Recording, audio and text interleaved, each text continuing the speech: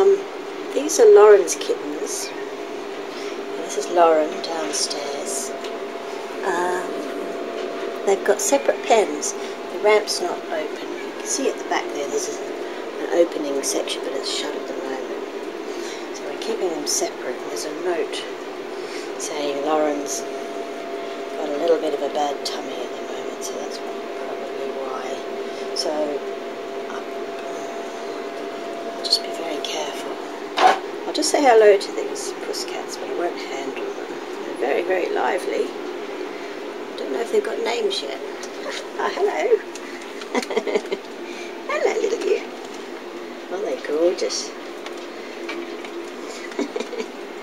nice and bright and alert, funny and friendly and comfortable with people.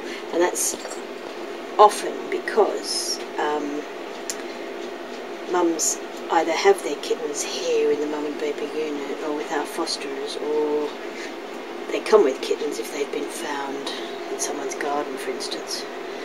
Um, but they're so young that we get them used to people nice and early so they become comfortable and well socialized with uh, being handled and being talked to and feeling safe with um, humans and these are obviously really well adjusted little kittens, full of confidence and curiosity. What's that?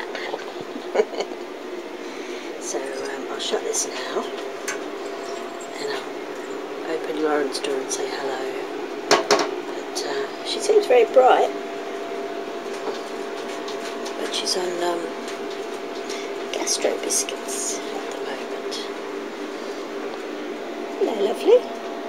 I'm not going to open in case she jumps out. Hello, Oh, look at your little face. Isn't she pretty? She's a lovely girl. Seems quite peaceful. Okay, so that's Lauren. I think she's getting a bit restless. I'm going to shut this. We'll see more of her later. And there's nobody in this one, but I think we're expecting uh, new lodgers. Yep, we've got four kittens coming this pen. I'll just show you what they're like. They're 10 weeks old apparently, they're coming tomorrow. So they have two sections. Got litter and a ramp opening. And we'll have toys for them and then um, places to sleep. There's um, soft rugs and pillows. And they can practice running up and down these ramps plenty of room to keep their food and their litter separate.